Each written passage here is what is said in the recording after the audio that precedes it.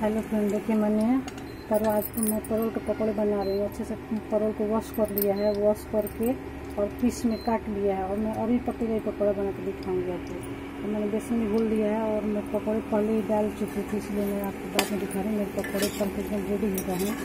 Crispy कुरकुरी और एकदम, क्या बताऊँ चटकीला एकदम चटक तो मैं इसको निकाल लेती हूँ, तब आपको दिखाती हूँ। ये देखिए फ्रेंड, मैंने ये परवल के पकौड़े बनाए हैं, कितना क्रिस्पी है और एकदम कुरकुरी हुई है। इसकी आवाज़ आप सुन सकते हैं। और मैं इसी तरह से अब जा ये इसका पकौड़ा, अभी पत्ते का पकौड़ा बना के आपको दिखाती हूँ। देखिए, बहुत ही मज़ेदार होता है इसका पकौड़ा खाने में बहुत स्वादिष्ट होता है। इसको ऐसे लपेट देंगे लगा के और एक एक करके बेसन में डालते जाएँगे। देखिए मैं किस तरह से बना रही हूँ इसको।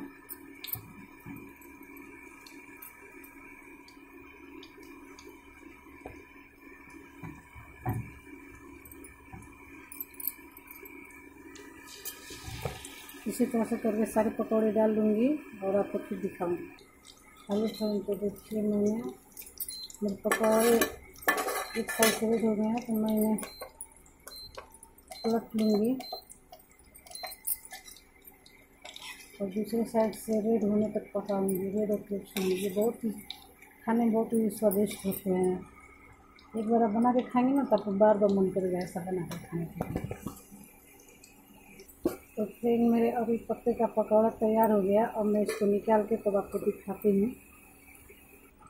तो फिर देखिए मेरे अरवी के पकौड़े कितने मज़ेदार कुरकुरे हैं एकदम फुले फुले से तो एक बार इसको बना कर ट्राई ज़रूर कीजिएगा। और देखिएगा कितना अच्छा लगता है।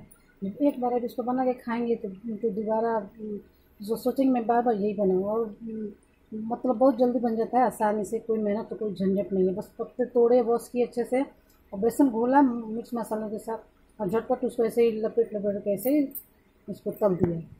और ये खाने में बहुत स्वादिष्ट होते हैं। और नहीं मतलब इसके और जिस तरह से और पकौड़े बनते हैं, उस उसके मुकाबले ये खाने में बहुत टेस्टी है। और ये परवल के पकौड़े भी बहुत टेस्टी होते हैं।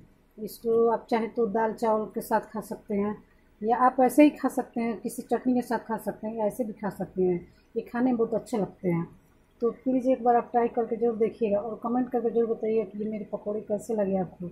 तो और मेरे चैनल को लाइक कीजिएगा, सब्सक्राइब कीजिएगा और शेयर अब आपको अच्छा लगे तो इसको अपने दोस्तों में शेयर भी कीजिएगा ताकि कोई जिसको चाहे वो मतलब बना के खा सकता है। मैं इसी तरह से आसान आसान तरीके से, एकदम सिंपल सिंपल सारा आसान तरीके से, जैसे गाँव घर में बनता है।